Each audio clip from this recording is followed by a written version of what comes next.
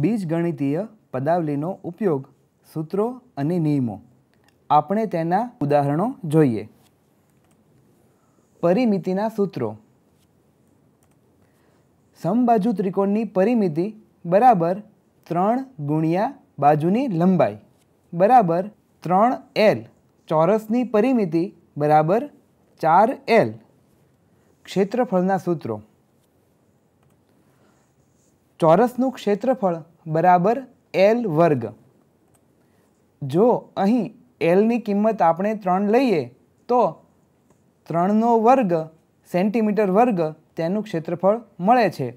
અથવા આપણે તેને નવ સેન્ટીમીટર વર્ગ કહીએ. લંબચોરસનું ક્ષેત્રફળ.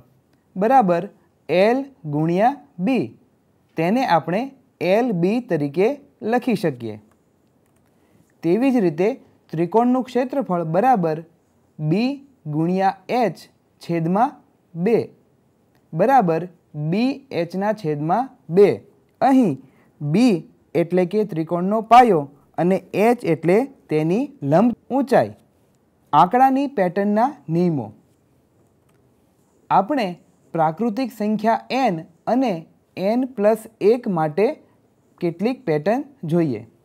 અહીં જો એન બરાબર દસ અને એન પ્લસ એક બરાબર દસ વત્તા એક બરાબર અગિયાર એમ દર્શાવીએ છીએ.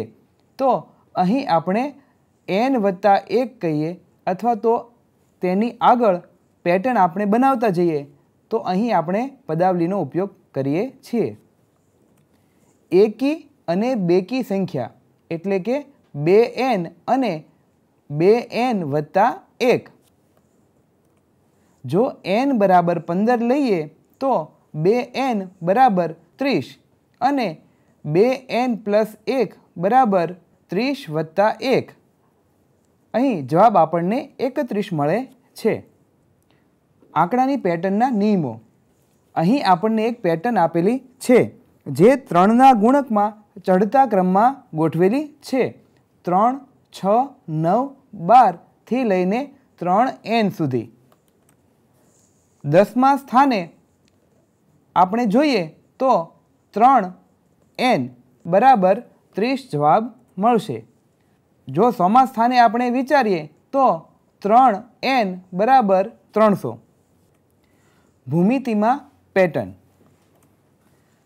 ચતુષ્કોણ, પંચકોણ અને ષટકોણના એક શિરોબિંદુમાંથી કેટલા વિકર્ણ દોરી શકાય? અહીં એક ચતુષ્કોણ આપેલો છે. અહીં તેનો આપણે એક વિકર્ણ લીધો છે. તેવી જ રીતે એક પંચકોણ આપેલો છે, તેમાંથી આપણે બે વિકર્ણ લીધા છે. તેવી જ રીતે ષટકોણમાં આપણે ત્રણ વિકર્ણ લીધા છે. એન બાજુઓ ધરાવતા બહુકોણના એક શિરોબિંદુમાંથી એન માઇનસ ત્રણ વિકર્ણ દોરી શકાય. તો અહીં આપણે વિકર્ણની સંખ્યા દર્શાવવા માટે પણ પદાવલીનો ઉપયોગ કર્યો છે.